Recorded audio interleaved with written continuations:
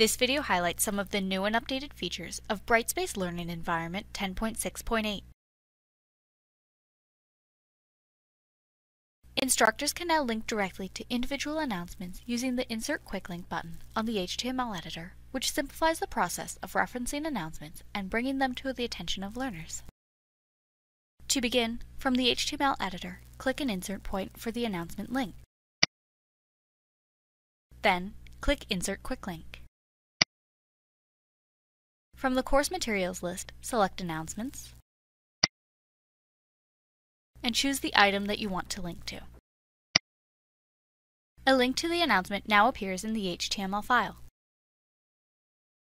Instructors can now receive an email notification when users upload a new submission to an assignment submission folder. This feature implements PIE items D2062, D2895, D2444, D1222, and D584.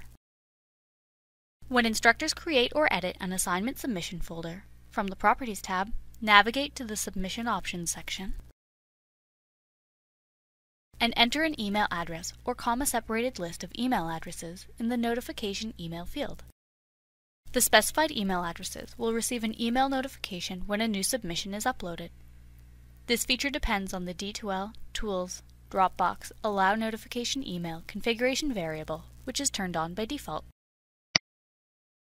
The Enhanced Document Viewer viewing experience allows instructors to view PDF and image files in their original format. Instructors will notice an updated viewing experience for image and PDF files in Assignments, Brightspace Learning Repository, and Brightspace ePortfolio. Instructors can now use an exemption as a reason why a learner has not completed a grade item. All grade tool updates in this release use the D2L, Tools, System, Features is Exemptions Enabled configuration variable. This variable is turned off by default. All Grades Tools updates in this release require the Enter Grades permission for administrators and instructors. When an instructor exempts a grade item for a learner, the following pages are affected for instructors. Enter Grades, Grade User, Grade Category, Grade Item, and Import Preview. The grade category and grade user pages display exemptions, but do not support adding or removing them. When an instructor exempts a grade item for a learner, the My Grades page is affected for that learner. In the User Progress tool, the Summary and Grades tabs are affected for both instructors and learners. In the Summary tab, exempted grades are not displayed. In the Grades tab, users can view exemptions. Exemptions affect the calculations of formula grades, calculated grades, grade categories, and final grades. There are two release conditions that are affected by exemptions. Because grade exemptions do not count as completed or incomplete grade items, there are two release conditions that are affected by exemptions, grade value on grade item and no grade received. These release conditions respect the exemption and do not trigger on the presence of a grade exemption. The process that exports and imports grade data now includes exemptions.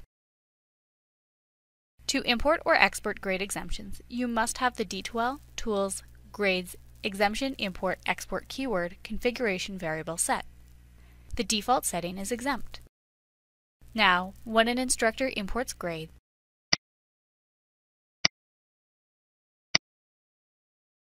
the imported grade data now includes exemptions. Similarly, when grades are exported,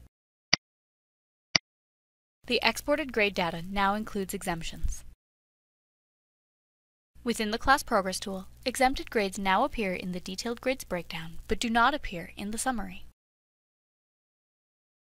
Exempted grades do not appear in the Grades section of the Summary tab or the bar graph for received grades. Exempted grades appear in the Grades tab on a learner's grade progress page, but do not appear in the bar graph for received grades at the top of the page. The Quizzes tool has been improved so that the workflow for creating and editing true and false questions has a modernized look and feel and responsive layouts.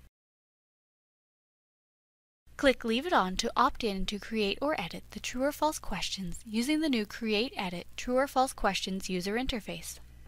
Click Turn It Off to return to the original user interface.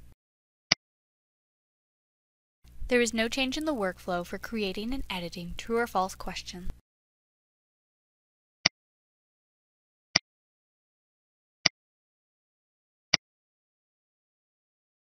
Changes to the User Progress tool now provide more clear information about which grade items are dropped from the calculation of a final grade. In the Grade section of the Progress Summary page, dropped items do not appear. On the Grades Progress page, dropped items are indicated by the text Dropped, not included in the final grade, and an exclamation mark icon with hover text that reads Dropped. The bar graph on the top of both the grades and summary pages does not include dropped items. Drop rules appear underneath each category. This feature and all other class progress features in this release depend on the D2L, Tools, Class Progress, Show Dropped and Final Weight configuration variable, which is turned on by default. However, if you turn off the variable, dropped grades and drop rules no longer appear in the Summary and Grades tabs. When using a weighted gradebook, instructors and learners can now view grades and their associated weight achieved in the User Progress tool. In the Grades section of the Progress Summary page, each category shows the weight value, the achieved value towards the final grade, and the achieved percentage mark. On the Grades Progress page, each category shows the weight value, the achieved value towards the final grade, and the achieved percentage mark. Expand the category to see each grade item in detail.